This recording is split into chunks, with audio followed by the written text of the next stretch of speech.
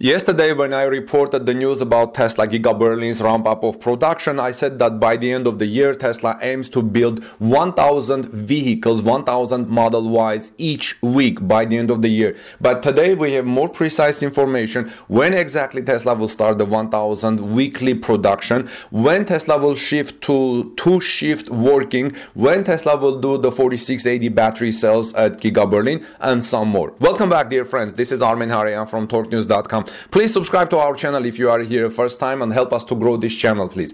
Tesla Giga Berlin is actively developing, aiming to produce 1000 Model Ys per week by the end of April. By the end of April, Tesla is hoping to build 1000 Model Ys per week. The transition to two shift work should begin starting July or sometimes in July, which will increase the factory's performance. The production of the 4680 battery cells is due to, the, to start in the fall of 2022. You know that Tesla is still building its cell production facility hopefully by the sometimes in the fall tesla will complete it and will start the production of 4680 battery cells. And like as i said tesla is going to shut down the factory for a few weeks approximately about three weeks to shift from the current batteries cells to 4680 battery cells.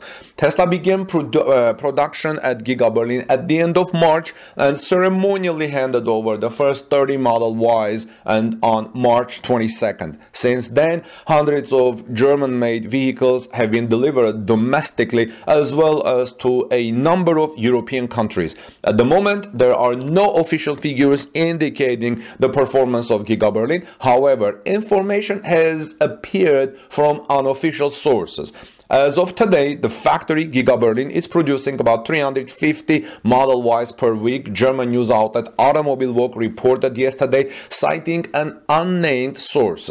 And this shouldn't be very difficult to understand because if you are working, thousands of working people are working at Giga Berlin and they should know how many cars they're producing per day. However, by the end of April, that's the end of this month. Basically, in, in a week, Giga Berlin should reach a production capacity of around 1,000 units per week. So, if a manufacturer will produce 1,000 Model Ys per week by the end of the year, the result would be about 35,000 vehicles in 2022, as I reported yesterday.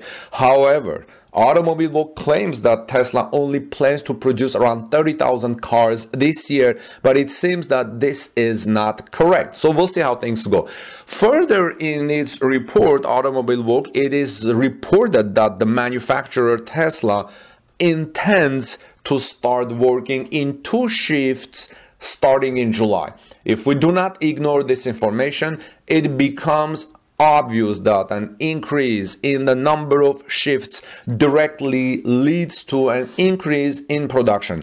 If this were not the case, then it would not make sense to start working in two shifts at all. Do not expect a second shift to double production, but it could bring in a few hundred more Model Ys week extra. So if by the end of this month, in a week basically, because today is what? Today is 19th of April, within 10 days Tesla starts building 1000 uh, Model Ys per week and adds a second shift in July, that means Tesla should be able to at least make 1,200, 1,500 vehicles per week, right? But still, consider that by the end of the year, by sometimes in fall, Tesla will shut down Giga Berlin for about three weeks. The report says uh, to build the 4680 battery sets. Now, Automobilwoche also reported that Tesla planned, like I said, the shutdown. It is reported that the stop will occur in connection with the re-equipment of production lines. So in case some of you were wondering why Tesla needs to shut down the factory for three weeks to uh, sh uh, shift uh, from the current,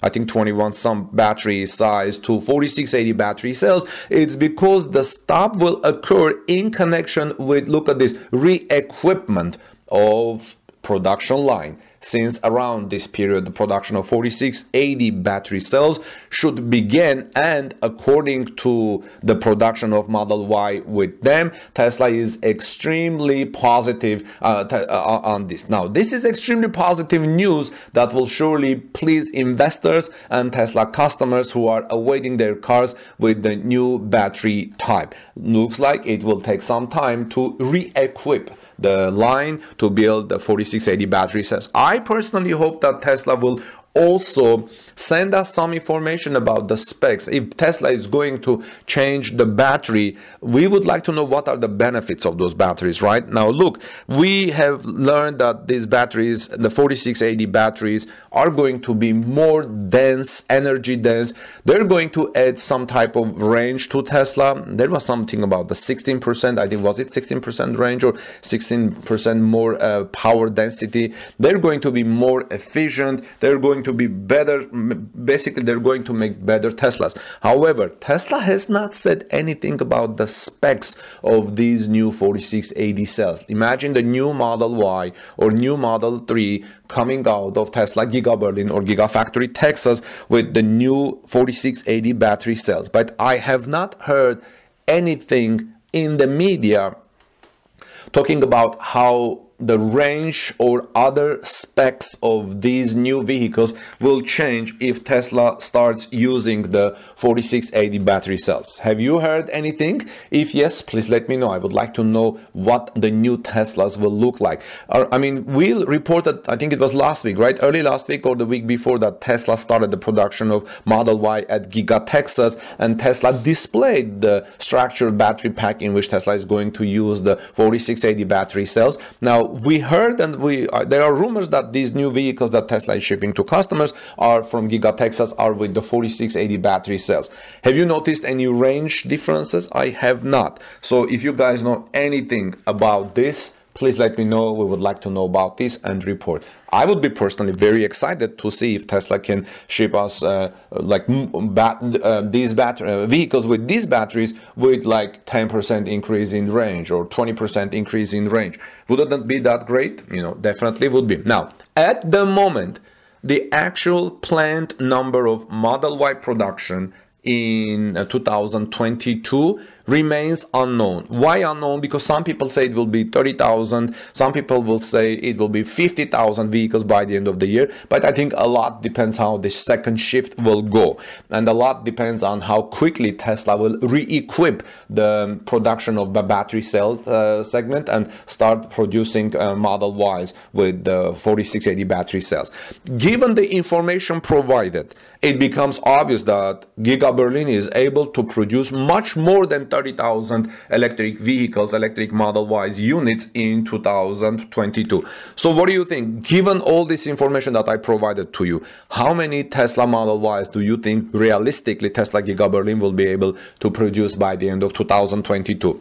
Perhaps the manufacturer will give an update. Hopefully Tesla will do an update on this or at least a hint about it. We will look at Elon's tweets or you know any news coming from our Giga Berlin sources during the upcoming core or uh, update or hint during the upcoming quarter one 2002 earnings call. By the way, I'm preparing a report about what to expect from the 2022 earnings call, especially that Giga Shanghai was down for uh, for almost a month uh, because of the restrictions in Shanghai. So let me know all your thoughts, friends. What do you think about all these developments? This is Armen Hareyan from TorqueNews.com. Please subscribe to our channel because I'm going to bring you what happens about the uh, 22, 22. What, what can you expect from 22 earnings, which I report in, in about hour or so, and also if anything new comes from Giga Berlin. Have a great day. Peace be with all of you and with the world.